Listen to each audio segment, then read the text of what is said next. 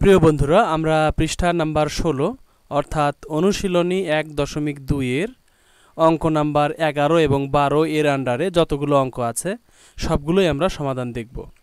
তাহলে এখানে প্রথমে এগারো নাম্বারটা দেখি। এগারোর দেখো, ক, খ, গ, ঘ উ চ, এই কয়টা অঙ্ক রয়েছে? এই ছয়টা। তাহলে এই ছয়টার অঙ্ক আমরা ধারাবাহিকভাবে সমাধান করি। এখানে বলেছে, এই যে দেখো, এই যে জিরো পয়েন্ট থ্রি সিক্স মানে শূন্য দশমিক তিন ছয়ের বর্গমূল কত? তাহলে যেটার বর্গমূল বের করতে হবে, এটা আমরা লিখে নিব। একটা ফাঁকা জায়গায় লিখব। লিখে আমরা যে কোনো পদ্ধতিতে বর্গমূল বের করতে পারি। আমরা এখানে সবচেয়ে সহজ এবং সবচেয়ে গুরুত্বপূর্ণ যেটা ভাগ পদ্ধতি বা ইউক্লিড পদ্ধতি, এটা আমরা এখানে দেখাচ্ছি। দেখো এখানে এই যে দশমিকের পরে যেগুলো আছে সেগুলোকে আমরা জোড়া বাঁধলাম। দশমিকের আগে, অর্থাৎ পূর্ণ সংখ্যা এখানে নাই, যার কারণে এখানে মানে জোড়া সংখ্যা নাই, যার কারণে এখানে আমরা জোড়া বাঁধতে পারলাম না। আচ্ছা তাহলে এখন আমরা এই পাশে একটা দাগ দেব। দাগ দিয়ে এখানে এমন একটা সংখ্যা ধরব, যেটা দ্বারা এই জিরোর বর্গ হয়।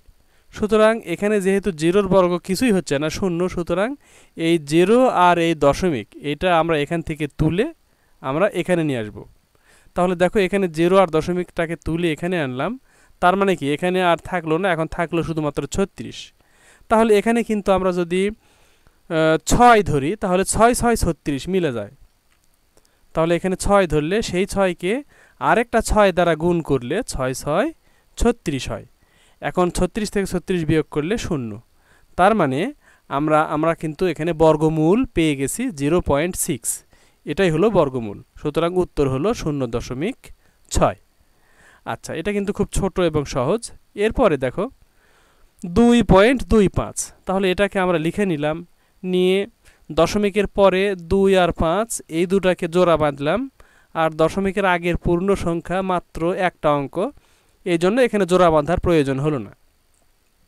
তাহলে আমরা এখানে একটা দাগ দিব এই ডান পাশে দিয়ে এখানে যদি আমরা এক ধরি তাহলে এককে এক দ্বারা গুণ করলে এক এককে এক। দুই যদি ধরি তাহলে দুইকে দুই দ্বারা গুণ করলে চার হয়ে যাবে।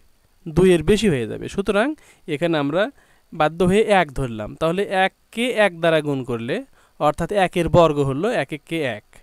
সেই এক এখানে লিখলাম। অর্থাৎ এককে এক দ্বারা গুণ করে যে হলো যেটা হলো সেটা আমরা এখানে লিখলাম। এখানে লিখলাম।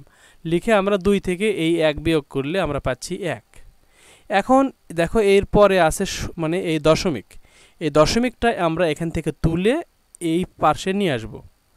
এখন আমরা এই দুই পাঁচ মানে পঁচিশকে আমরা এই সোজা এই একের পাশে এনে বসাবো। তাহলে এক হয়ে গেল একশো পঁচিশ। আচ্ছা এখন আমরা এই পার্শ্বে একটা দাগ দিব এখানে দিয়ে এখানে যেটা থাকবে তার ডাবল আমরা এখানে নিব। এখানে যেহেতু এক আছে, তাহলে একের ডাবল এখানে দুই। আর এরপরে আমরা এখানে একটা জায়গা ফাঁকা রাখব যেন এখানে একটা সংখ্যা বা এখানে একটা অঙ্ক বসানো যায়। আচ্ছা এখানে কোন অঙ্ক বসালে আমাদের একশো পঁচিশ হবে? দেখো, আমরা যদি এখানে পাঁচ বসাই, তাহলে এটা হয়ে যাবে পঁচিশ। তাহলে এখানে পাঁচ বসালে এখানেও পাঁচ নিতে হবে। তাহলে এই পঁচিশকে এই পাঁচ দ্বারা গুণ করলে হবে একশো পঁচিশ। সুতরাং আমরা এখানে পাঁচ নিলাম, এখানেও পাঁচ নিলাম। তাহলে এই পঁচিশকে এই পাঁচ দ্বারা গুণ করলে পাঁচ পঁচিশ সং একশো পঁচিশ। এখন একশো পঁচিশ থেকে একশো পঁচিশ বিয়োগ করলে শূন্য। ব্যাস, আমাদের কিন্তু কাজ শেষ, এখানে শূন্য হয়ে গেছে। আমাদের বর্গমূল কিন্তু আমরা পেয়ে গেছি এক দশমিক পাঁচ, তার মানে উত্তরও হলো এক দশমিক পাঁচ। ওকে এরপরে আমরা দেখব গ নাম্বার। এখানে দেখো zero point zero zero four নাইনের বর্গমূল কত। তাহলে আমরা এটা লিখে নিলাম, নিয়ে জোড়া বাঁধব। এখন দেখো দশমিকের পরে জোড়া বাঁধব, দশমিক থেকে ডান দিকে যাব।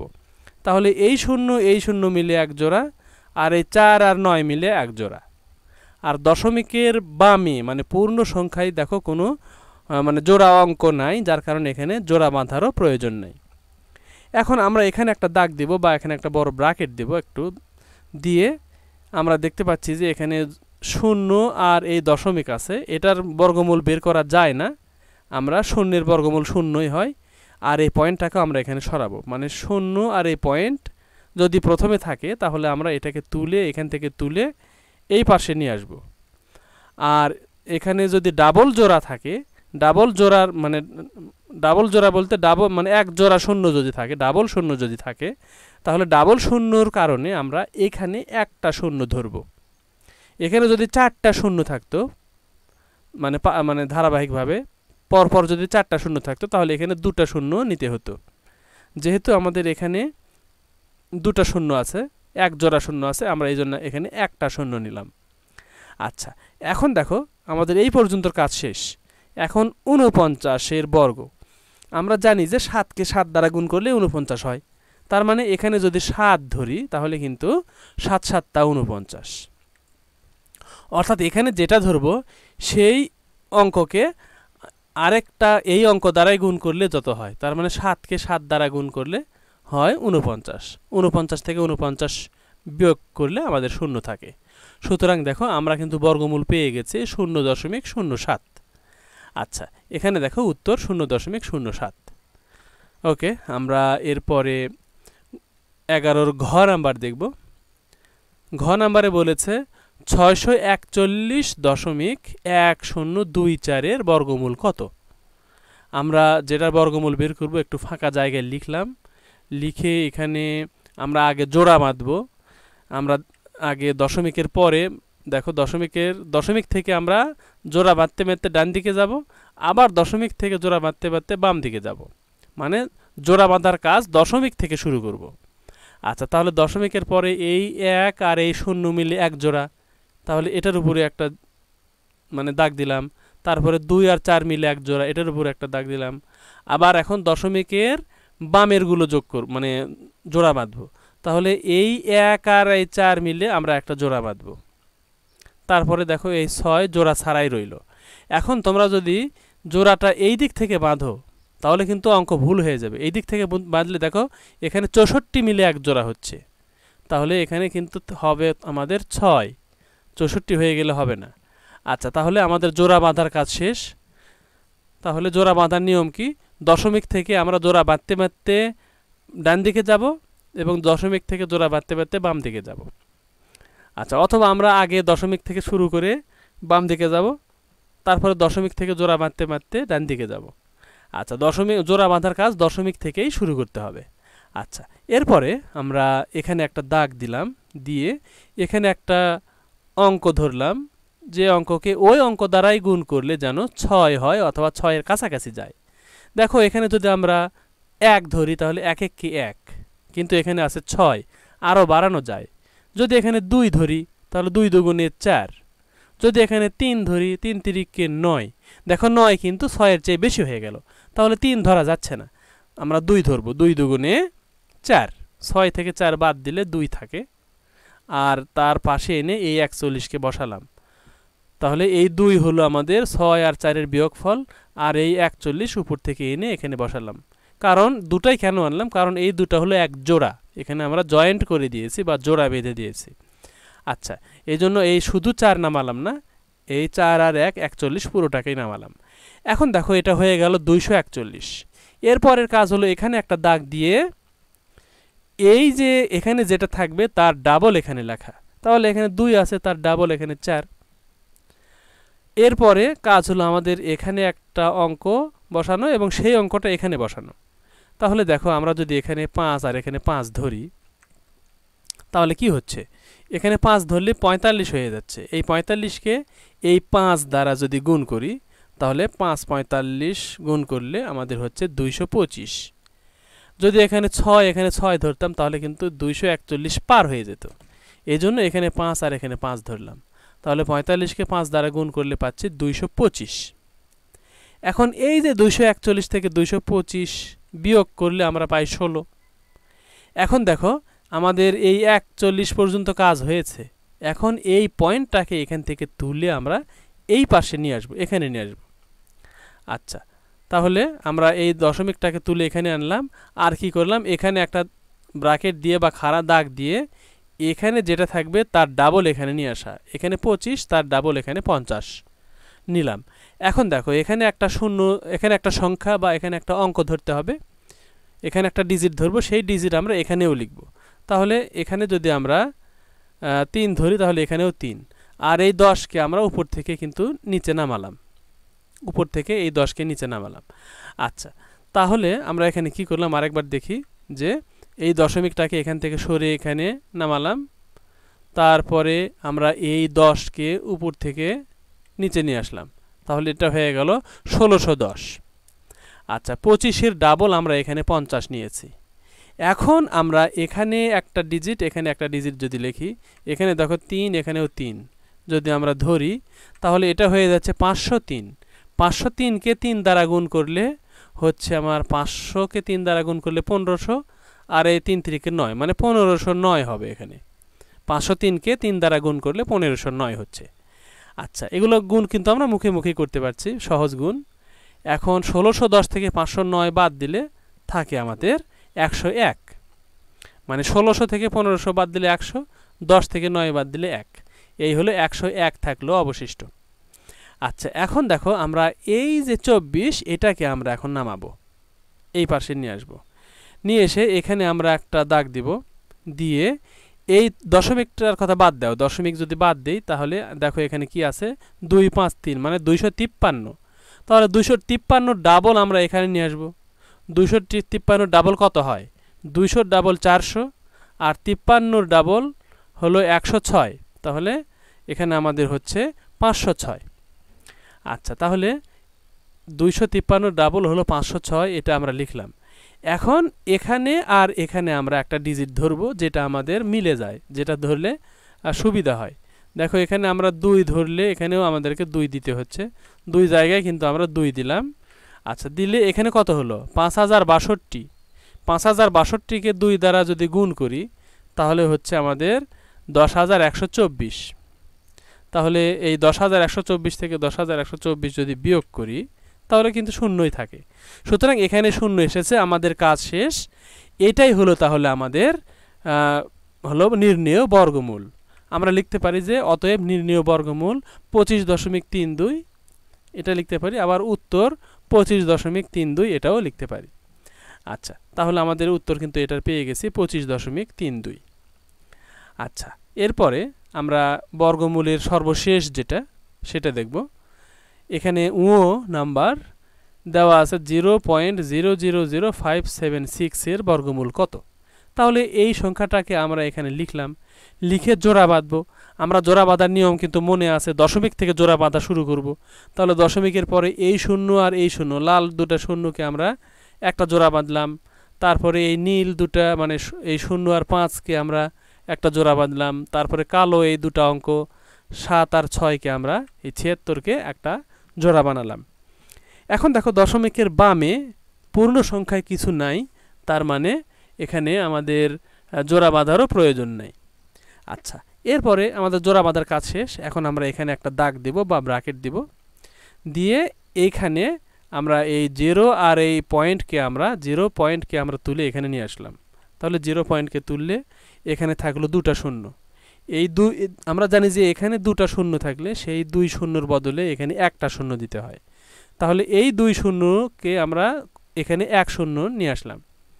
এখন দেখো আমাদের এই শূন্য লাল শূন্য পর্যন্ত কাজ শেষ। এখন শূন্য আর পাঁচ, তার মানে কি? এখানে পাঁচ আছে। তাহলে এখানে কি ধরলে পাঁচ বা পাঁচের কাছাকাছি যায়? দেখো এখানে যদি আমরা দুই ধরি, তাহলে দুই দুগুণে চার, দুই দুগুণে চার হয়। শূন্য পাঁচ মানে তো আসলে পাঁচ, বামে শূন্যর কোনো মূল্য হয় না। আচ্ছা তাহলে এই পাঁচ থেকে এই এক বাদ দিলে, চার বাদ দিলে এক থাকে। আর এই যে ছিয়াত্তরকে আমরা নিচে নামিয়ে আনলাম, একশো ছিয়াত্তর হলো। এখন আমরা কি করব? এটার এখানে আমরা একটা দাগ দিব দিয়ে এখানে যেটা আছে সেটার ডাবল আমরা এখানে নিব। দেখো, এই পয়েন্ট বাদ দাও। তাহলে জিরো জিরো টু তার মানে কি? এইসব জিরোর কোনো মূল্য হয় না। তার মানে এই দুইয়ের ডাবল চার আমরা এখানে লিখব। এমনভাবে লিখব যেন এখানে একটা ডিজিট বসানো যায়। তাহলে এই চারের পাশে এখানে যদি আমরা চার ধরি এবং সেই চার যদি আবার এখানে ধরি, তাহলে এখানে হয়ে যাচ্ছে চুয়াল্লিশ। এখানে চার ধরলাম, এখানেও চার ধরলাম। তাহলে এই চুয়াল্লিশকে এই চার দ্বারা গুণ করলে একশো ছিয়াত্তর হয়। এখন একশো ছিয়াত্তর থেকে একশো ছিয়াত্তর বাদ দিলে অবশ্যই শূন্য হয়। এখানে আমরা শূন্য পেয়ে গেছি, শূন্য হয়ে গেছে। সুতরাং আমাদের কাজ শেষ। এটাই হলো আমাদের বর্গমূল বা এটাই হলো উত্তর। অর্থাৎ উত্তর zero point zero two four, অর্থাৎ শূন্য দশমিক শূন্য দুই চার। এটাই হলো আমাদের বর্গমূল বা এটাই উত্তর। আচ্ছা এখন আমরা এগারো নম্বরের কাজ শেষ করলাম। এখন আচ্ছা এগারো নম্বরে দেখো আরেকটা আছে, চ নাম্বার। আচ্ছা এইটা হলেই মনে হয় শেষ, এটাই এরপরে আমরা বারো নাম্বার করব। এই নাম্বারটাতে দেখো একশো চুয়াল্লিশ দশমিক আট চার এক দুই দুই পাঁচ। এটার বর্গমূল। সুতরাং এই সংখ্যাটাকে আমরা একটা ফাঁকা জায়গায় লিখব। লিখে প্রথম কাজ হলো জোড়া বাঁধা। অবশ্যই আমরা পয়েন্ট থেকে জোড়া বাঁধা শুরু করব, দশমিক থেকে। তাহলে দশমিক থেকে আমরা যদি জোড়া বাঁধি, তাহলে দশমিকের ডানি দেখো চার আর আট আর চার আছে, এই দুটা মিলে এক জোড়া। তারপরে এই যে নীল দুটা ডিজিট এক আর দুই, এই দুটাকে আমরা এক জোড়া বাঁধলাম। তারপরে আমরা এই দুটাকে এক জোড়া বাঁধলাম। এখন দশমিকের বামে আমরা যাব। তাহলে দশমিক থেকে শুরু করব। অর্থাৎ এই চার আর এই চার মিলে এক জোড়া। আর এখানে একটাকে আমরা জোড়া বাঁধতে পারছি না, এখানে আর কোনো ডিজিট নাই। আচ্ছা এখন কাজ হলো আমরা এখানে একটা দাগ দিব, খাড়া দাগ বা ব্রাকেট দিব। দিয়ে এখানে আমরা এমন একটা সংখ্যা ধরবো, সেই সংখ্যাকে ওই সংখ্যা দ্বারা গুণ করলে যেন এক হয়। তাহলে অবশ্যই এখানে আমাদের এক ধরতে হবে। কারণ এককে এরকম আরেকটা এক দ্বারা গুণ করলে এক হবে। তাহলে এক এককে এক। এখন এক থেকে এক বিয়োগ করলে শূন্য থাকে সেটা অবশ্যই সহজ। এখানে শূন্য লেখার প্রয়োজন নাই। এই চুয়াল্লিশকে আমরা নিচে নামিয়ে আনলাম, যেহেতু এই দুটো এক জোড়া, এই জন্য এই জোড়াটা পুরোটাই আমরা এখানে নামালাম। আচ্ছা এখন কাজ হলো আমাদের এখানে একটা খাড়া দাগ বা একটা ব্রাকেট দেওয়া। এরপরে এখানে যেটা থাকবে, সেটা ডাবল এখানে নিয়ে আসা। একের ডাবল একের ডাবল এখানে দুই, এটাকে আমরা নিয়ে আসলাম। আচ্ছা এখন আমরা এই জায়গায় যেন একটু জায়গা থাকে, এই জন্য আমরা একটু এখানে ফাঁকা রাখব। তাহলে এখানে এক আছে, একের ডাবল আমরা এখানে দুই নিলাম এবং এখানে একটু জায়গা ফাঁকা রাখলাম যেন এখানে ডিজিট আমরা পরে ধরতে পারি। আচ্ছা এখন দেখো, এখানে যেটা ধরবো সেটা যেন আমরা আবার এখানে ধরি। তাহলে এখানে দুই ধরলে আমরা এখানে দুই ধরছি। কেন দুই ধরলাম? কারণ এখানে এক ধরলে এটা হয়ে যাচ্ছে একুশ। সেই একুশকে এই এক দ্বারা গুণ করলে একুশে কে একুশ? আর এখানে যদি আমরা দুই ধরি, তাহলে এটা হয়ে যাচ্ছে বাইশ। তাহলে বাইশকে এই দুই দ্বারা গুণ করলে বাইশ দুগুণে চুয়াল্লিশ। এই যে মিলে গেল এই জন্য। এখন চুয়াল্লিশ থেকে চুয়াল্লিশ বাদ দিলে জিরো হয়। আচ্ছা এখানে আমরা জিরো লিখতেও পারি, নাও লিখতে পারি। এই পয়েন্টটাকে আমরা এখন মানে যেহেতু এই পর্যন্ত কাজ হয়ে গেছে, এখন এই পয়েন্টের কাজ। এই পয়েন্টের কাজ হলো জাস্ট এখান থেকে তুলে আমরা এখানে নিয়ে আসব, ব্যাস। তাহলে এখন এই চুরাশিকে আমরা এখন নামাতে পারব। এই চুরাশিকে যদি নামাই নামানোর পরে এখানে অবশ্যই আমরা একটা দাগ দিব বা ব্র্যাকেট দিব। দিয়ে এখানে যে সংখ্যা থাকবে সেটা ডাবল আমরা এখানে নেব। এখানে বারো আছে, এর ডাবল চব্বিশ নিলাম। তাহলে আমরা এই বারোর ডাবলকে এখানে নিয়ে আসলাম। আর এখানে একটু জায়গা ফাঁকা রাখলাম যেন এখানে আরও অঙ্ক লেখা যায়। আচ্ছা তাহলে বারো ডাবল চব্বিশ। এখন দেখো, এখানে যদি আমরা এক ধরি, তাহলে এটা হয়ে যাবে দুইশো একচল্লিশ। তাহলে এখানে এক ধরলে এখানেও এক ধরতে হবে। তাহলে দুইশো একচল্লিশকে এখানে যে এক ধরতা, ধরবো, সেই এক দ্বারা গুণ করলে দুইশো একচল্লিশ। মানে এক দ্বারা ধরলেই কিন্তু দুইশো একচল্লিশ হচ্ছে। কিন্তু এখানে আছে আমাদের মাত্র চৌরাশি। তাহলে কি করব আমরা? এখানে একটা জিরো আর এখানে একটা জিরো দিয়ে আরেকটা জোড়া এখানে নিয়ে আসব। তাহলে এখানে দেখো একশো বিশের ডাবল দুইশো চল্লিশ। দুই জায়গায় দুটা শূন্য দেওয়াতে এই একশো বিশের ডাবল দুইশো চল্লিশ হয়ে গেল। আবার আমরা পাশাপাশি দুই জোড়া সংখ্যা কিন্তু নামাতে পারলাম এখানে আর এখানে শূন্য দেওয়ার কারণে। আচ্ছা তাহলে আমরা কিন্তু পাশাপাশি দুটা অঙ্ক নামাতে পারব না যদি আমরা এই শূন্যগুলো না দিই। আচ্ছা তাহলে এই শূন্য আর এই শূন্য দেওয়ার কারণ কি? কারণ হলো আমরা এক জোড়া নামিয়ে এনে আমাদের কাজ হচ্ছে না এই জন্য আরেক জোড়া নামাতে হচ্ছে। এই জন্য পরপর দুই জোড়া নামানোর কারণে আমরা একটা শূন্য নিলাম এখানে, আর সেই শূন্য আবার এখানে নিলাম। আচ্ছা তাহলে একশো বিশের ডাবল দুইশো চল্লিশ হয়েই গেছে। আচ্ছা এখন আমরা এখানে একটা সংখ্যা মানে অঙ্ক ধরবো, এখানে একটা অঙ্ক ধরবো, সেই অঙ্কটা এখানে ধরবো। এখানে এক ধরলে এখানেও এক, আবার এখানে দুই ধরলে এখানেও দুই, এখানে যদি আমরা তিন ধরি এখানেও তিন, তাহলে এখানে তিন ধরলে চব্বিশশো তিন, আর সেই চব্বিশশো তিনকে এই তিন দ্বারা গুণ করলে আমাদের হচ্ছে সাত হাজার দুইশো নয়। এখন আট হাজার চারশো বারো থেকে সাত হাজার দুইশো নয় বিয়োগ করলে থাকে হলো এক হাজার দুইশো তিন। আচ্ছা এখন আমরা দেখো এই যে পঁচিশ শেষের জোড়া, এটাকে আমরা এখানে নামাতে পারব।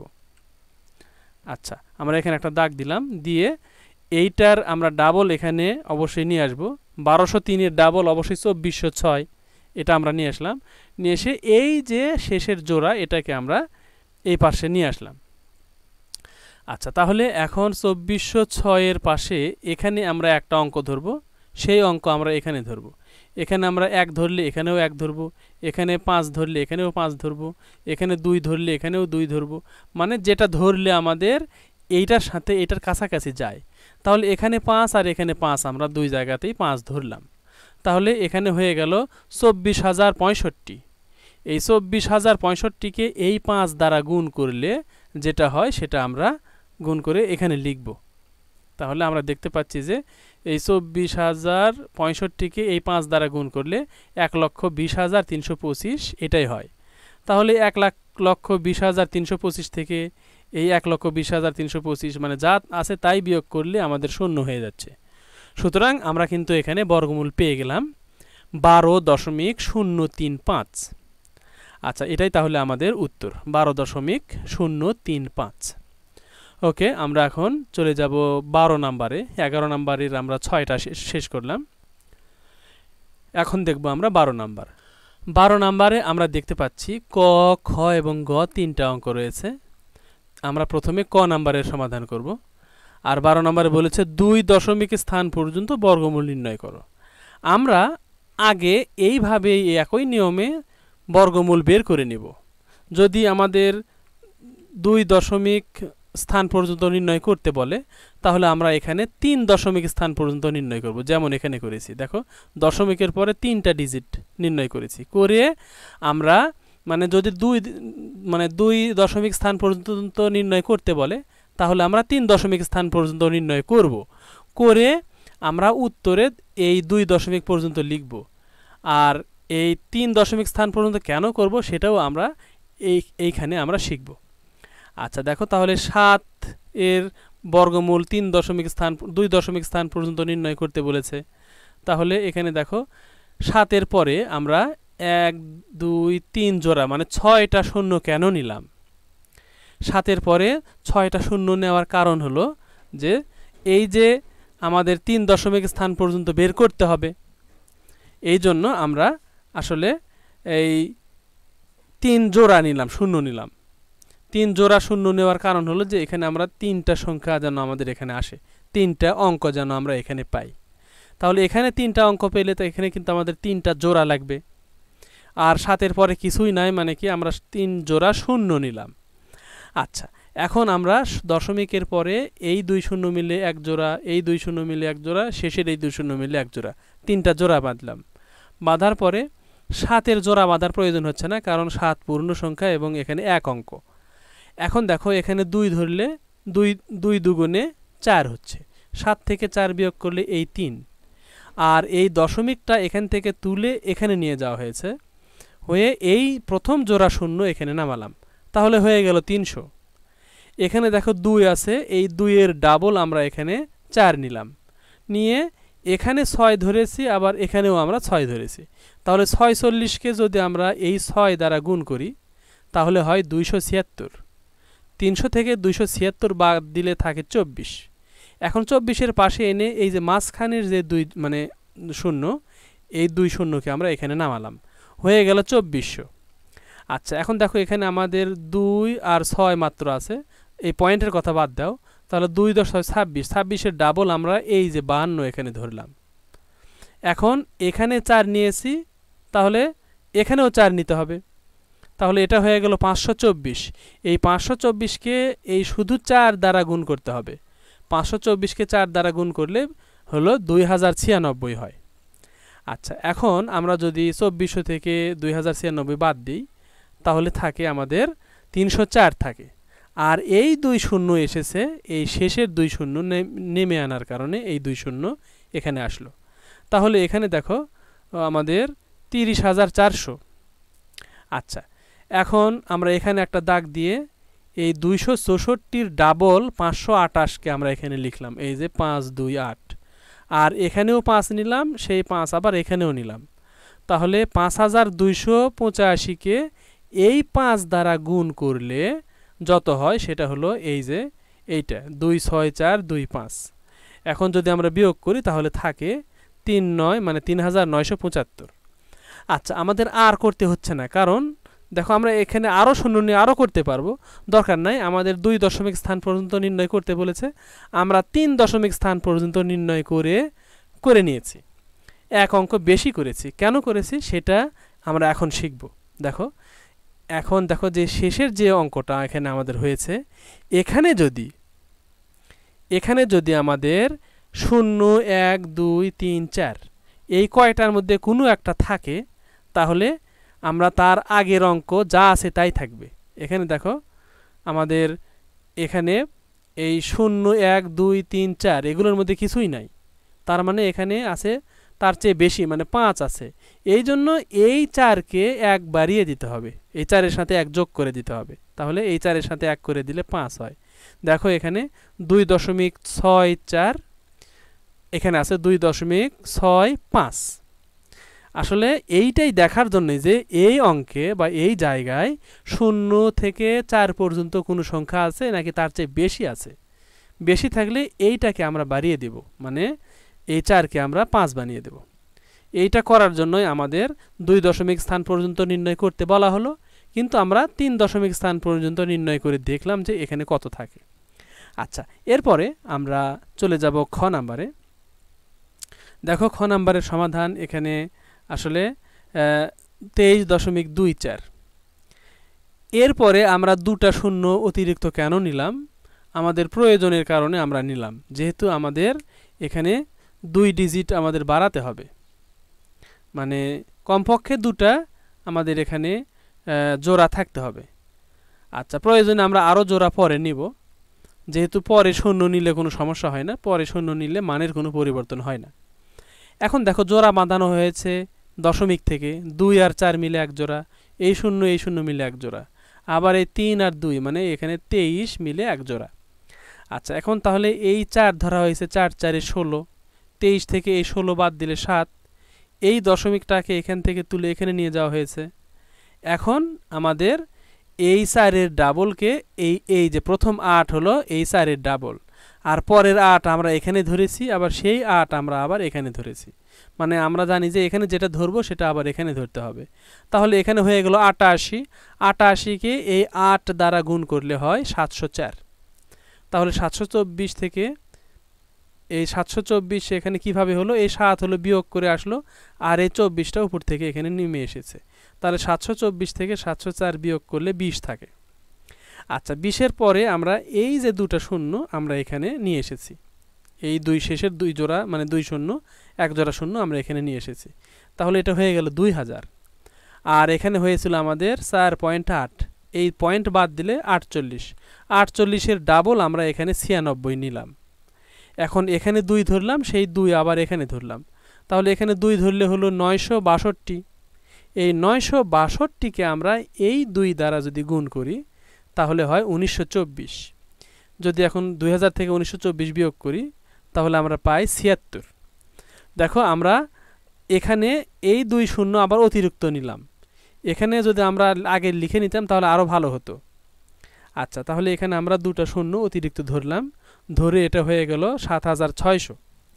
আচ্ছা তাহলে আমরা এই চারশো বিরাশির ডাবল আমরা নিলাম নয়শো চৌষট্টি। নয়শো চৌষট্টির পরে এখানে একটা শূন্য, সেই শূন্য আবার এখানে ধরলাম। তাহলে নয় হাজার ছয়শো চল্লিশকে এই শূন্য দ্বারা গুণ করলে কিন্তু সব শূন্য হয়ে যাবে। আচ্ছা তাহলে আমরা এই সাত হাজার ছয়শোই কিন্তু এখানে অবশিষ্ট থাকবে। আচ্ছা তাহলে আমরা দেখো দশমিকের পরে এখানে আমাদের তিনটা ডিজিট হয়ে গেছে। কিন্তু আমাদের এখানে দুই দশমিক মানে দুটা ডিজিট পর্যন্ত করতে বলেছে। আমরা এখানে তিনটা কেন করলাম? কারণ এইটা দেখার জন্য যে এইখানে শূন্য থেকে চার পর্যন্ত ডিজিটের মধ্যে কোনো ডিজিট আছে নাকি পাঁচ, ছয়, সাত, আট, নয়? এগুলোর মধ্যে কোনো একটা আছে। তাহলে আমরা জানি যে এখানে শূন্য থেকে চারের মধ্যেই যদি থাকে, তাহলে এখানে মানে তার আগের অঙ্কে এক বাড়ানোর প্রয়োজন নাই, যা আছে তাই থাকবে। সুতরাং আমাদের উত্তর হবে চার দশমিক আট দুই। এই দুইটা তিন হয়ে গেল না। তাহলে চার দশমিক আট দুই, এটাই কিন্তু আমাদের উত্তর। আচ্ছা এরপরে আমরা সর্বশেষ যেটা, গ নাম্বার, এটা দেখব। এটা দেখো, আমরা এখানে অতিরিক্ত শূন্য দেখো, নেওয়া হয়েছে তিনটা। কারণ এখানে আমাদের তিনটা ডিজিট আছেই, আরও তিনটা ডিজিট নিলে ছয়টা ডিজিট হচ্ছে। অর্থাৎ তিন জোড়া ডিজিট হচ্ছে। তিন জোড়া ডিজিট বানানোর জন্য আমরা এখানে আরও তিনটা শূন্য অতিরিক্ত নিলাম। নিয়ে আমরা দুটা দুটা করে জোড়া বাঁধলাম। আচ্ছা এখন দেখো এই শূন্য আর পয়েন্ট এটাকে আমরা তুলে এখানে নিয়ে আসলাম। নিয়ে এসে এই শূন্য আর তিন মানে কি? তিন। এই তিনের আমরা বর্গমূল বের করব। তাহলে দেখো এখানে এক এক কে এক। এখানে যদি দুই ধরতাম, তাহলে দুই দুগুণে চার। চার হয়ে যেত মানে তিনের চেয়ে বেশি হয়ে যেত। এই জন্য আমরা এখানে এক ধরেছি। তাহলে এক এক কে এক। তিন থেকে এক বাদ দিলে দুই। আর এই ষাট আসলো উপর থেকে। দুইশো ষাট হয়ে গেল। এখন এই একের ডাবল হলো এই দুই। আর এখানে আট ধরেছি, সেই আট আবার এখানে ধরেছি। তাহলে এই আটাশকে এই আট দ্বারা গুণ করলে দুইশো চব্বিশ হয়। আচ্ছা দুইশো চব্বিশ যদি আমরা দুইশো ষাট থেকে বিয়োগ করি, তাহলে ছত্রিশ থাকে। এই ছত্রিশের পাশে এই দুটা জিরো উপর থেকে নিয়ে আসা। এখানে তাহলে তাহলে হয়ে গেল ছত্রিশশো। আচ্ছা তাহলে এখানে এই আঠারো ডাবল ছত্রিশ এখানে নিলাম। নিয়ে এখানে নয় ধরলাম, এখানে নয় ধরলাম। তাহলে এখানে হয়ে গেল তিনশো উনসত্তর এই তিনশো উনসত্তরকে এই নয় দ্বারা গুণ করলে তেত্রিশশো একুশ হয়।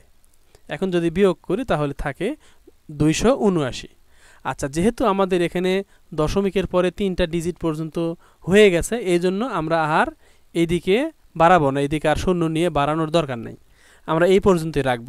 রেখে এখানে দেখব যে এই যে এই জায়গায় শূন্য থেকে চার পর্যন্ত নাকি তার চেয়ে বেশি আছে। আমরা দেখছি এখানে নয়, শূন্য থেকে চারের চেয়ে বেশি। সুতরাং আমাদের এই আটের সাথে এক যোগ করে উত্তর লিখতে হবে। তার মানে উত্তর হবে এই আটের জায়গায় নয়। মানে শূন্য দশমিক এক আট নয়, শূন্য দশমিক এক নয়। আর এইটা, এই নয় কেন বাদ দিতে হচ্ছে? কারণ আমাদের বলেছে দুই দশমিক স্থান পর্যন্ত নির্ণয় করো।